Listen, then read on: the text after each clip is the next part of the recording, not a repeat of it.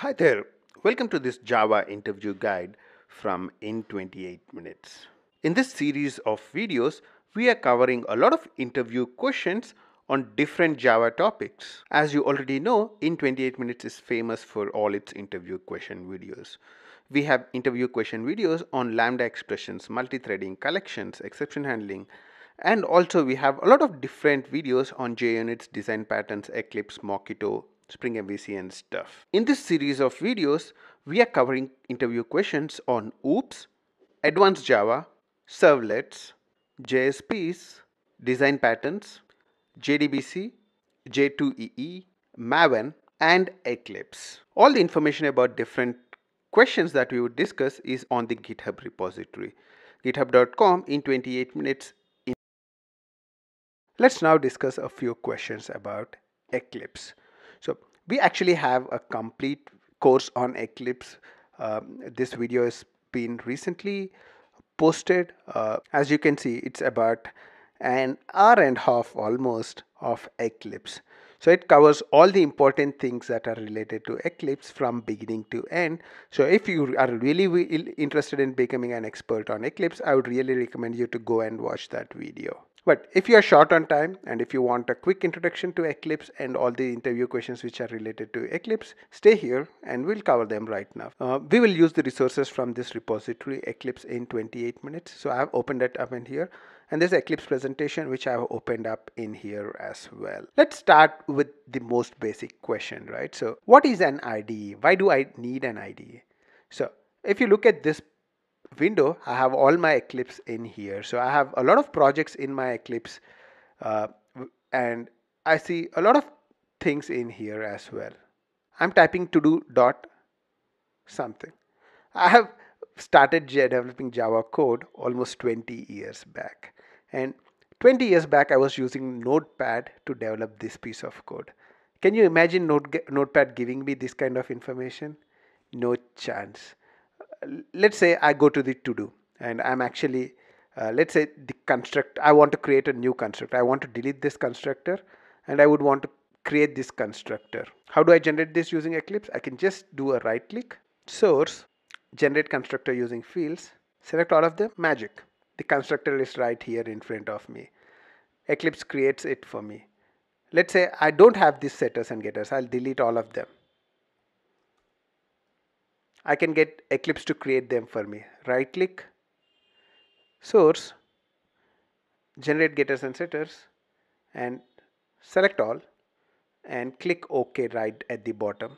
That's it. You have all the setters and getters. You can even generate the toString. If the toString was not here, I can generate it.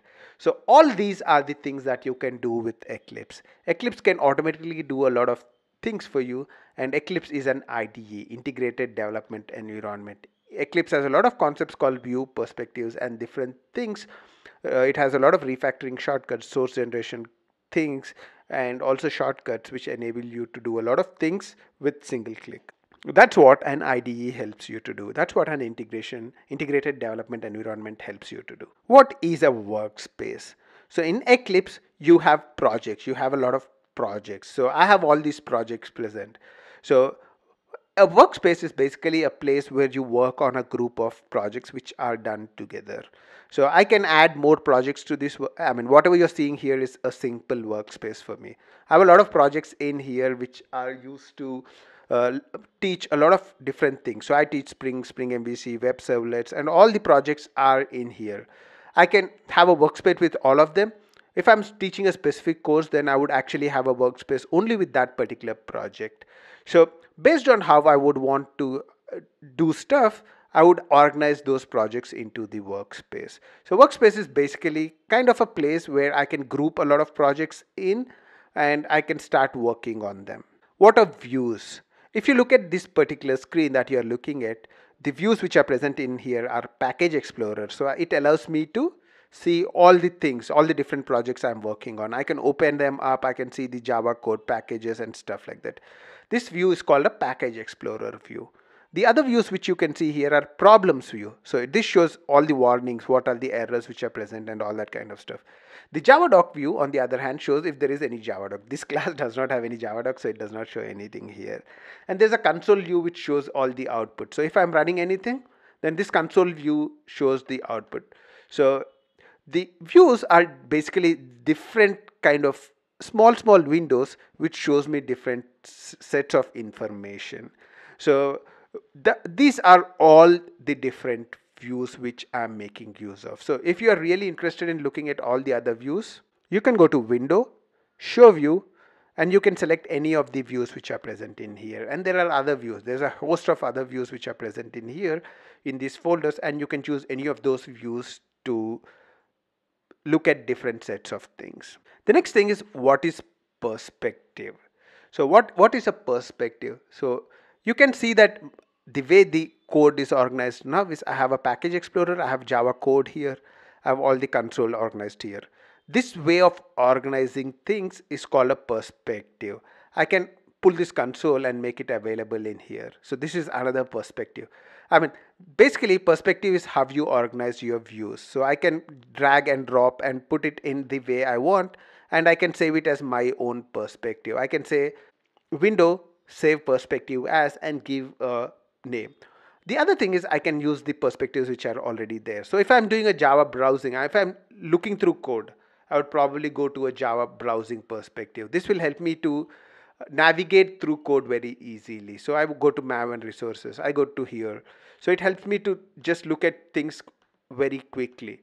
So this is a Java browsing perspective. So similarly, there are other perspectives for debugging code. When you're debugging code, you can use the debug perspective. When you are, there's a Java EE perspective, which is kind of the default. There's a Git perspective when you are committing code into the Git repository. So there are a lot of other uh, perspectives which are present, which you can use. Depending on the thing which you are doing, you can choose the perspective which is related to that. A lot of times I'm asked, what is the favorite shortcut of yours. So actually my favorite shortcut in Java is usually control space. I'll just go here and say sysout control space. What does it give? sys.out.println. Let's say the code was like this control space. It gives me toString. The other magical thing I love in Eclipse is control 1 or command 1. Best if you are in Mac it's command 1, if you are in Windows it's control 1. Just press control 1 to do 1, 2, 3. Take any class, rename it, press control 1. So it gives you a lot of options. It's saying either rename the compilation unit to to do 123.java. So it will rename this to to do 123.java or rename the type to to do. So it will rename this to to do. So it gives me all the options that are present when I do that. So that's control 1 or command 1. That's also one of my favorite shortcuts. So control 1 and control space or command 1 and control space are my favorite shortcuts in Eclipse. There are a lot of keyboard shortcuts that are really useful in Eclipse. So you can move code up and down by using the alt up arrow down arrow. So I can move the code down wherever I would want to do using an alt up arrow down arrow. You can highlight a block as well and then you can say alt down alt up arrow and you'd be able to move that wherever you would want to move control shift R is to search for resources so you can see I can type in something and search for it control shift R. And control shift T is to search for classes. Type control shift T is to search for type. So you have everything in here. And control plus slash is used to comment this line of code. So you all that you need to say is control and this slash. So this one over here. So control plus slash. Control plus d would delete a line control l will take you to a specific line. So let's say i am at a specific line i want to go to line number 34 which is not there in this file but uh, oh there is. So i can go to line specific line. Control q takes you to the last line of code which was edited. Control o gives you an outline. That's a beautiful thing i like. So it gives you an outline of the class. What are the methods? What are the variables which are present in here and there are other uh, things like f3 which takes you to the declaration f4 which takes you through the type hierarchy. My favorite thing to do is to go to one of the abstract map uh, abstract collection kind of a class and do function f4 so it's just f4 so if you go here I mean I would do it using this. So right click and say open type hierarchy it brings up a huge hierarchy. So it shows up the entire hierarchy of the abstract map. So you can see abstract map is from object and there are a lot of classes which extend uh, abstract map including the hash map which is one of the famous ones I guess and also you have all the other stuff like linked hash map which inherits from there. So if you want to get a quick hierarchy of how classes are organized then you can use the right click uh, show type hierarchy or F4 there are a lot of other shortcuts in here which you can keep trying and there are a lot of refactoring things as well. So you have alt shift r alt shift m to extract a method alt shift l to extract a local variable and you can change the signature of a method. You can move a method from specific place to another specific place. We also looked at code generation in one of the previous uh, at the introduction right? So we generated getters and setters. We can equally generate toString and equals and hash code as well. Uh, one of the important things I would want to show is the save actions. So if you go to Windows, Eclipse preferences or window preferences. One of the important things to note is that in Windows, you have to use Windows preferences for preferences. In Mac, we would be using Eclipse preferences. So it's Windows preference and if you type save actions, it brings in here. So save actions is an awesome way to uh, do things when you save. So as soon as I do a save on files, it would format all the lines. It would organize all the inputs. And if you want, you can configure a lot of additional actions. So these save actions are a great time savers. So I always have these basic things present. So I always format all the lines, organize all the inputs using save actions. So whenever I write any kind of junk code as well, it automatically gets formatted when I save the code. So save actions is one more important thing that I'll really like in Eclipse. Eclipse has beautiful Maven integration as well. So if I want to run as run this Maven project, then I can say right click run as Maven install. Then what would happen? It does a MVN clean install. So I'm using the plugin which Eclipse provided by default and you can see that the entire Maven build is uh, executed. The other thing you can I can do is also import a Maven project. So I can say file import existing Maven projects and click next and go to the place where the Maven project is present. So just go to that specific folder where your POM file is present and then you'd be able to import that Maven project in. So Eclipse has really good integration with Maven which makes your life very easy. So until now we looked at a lot of features in Eclipse uh, which would make your life very easy. As I said, I mean the idea behind this uh, video was to just give you a quick overview of what might be the different things which might be asked in interview from the perspective of Eclipse. If you are really interested in doing the uh, complete course, I would really recommend you to go through uh, this particular video which is in github.com in 28 minutes interview guide. So if you go to the Eclipse, then you would be able to click this link and you'll be able to watch a lot more things about Eclipse. Uh, if you like this video, then I would really recommend you to do any of our courses. I mean, we have a great range of courses on Udemy with a lot of uh, followers. I mean, we have almost 35,000 students on Udemy and we have very popular courses with high reviews. So any of these courses might be interesting for you. You can try and look at them and if you're interested, do them. This video is part of a series of 25 videos which we have created and all the links to those videos are present in the github repository github.com slash in 28 minutes slash interview hyphen guide.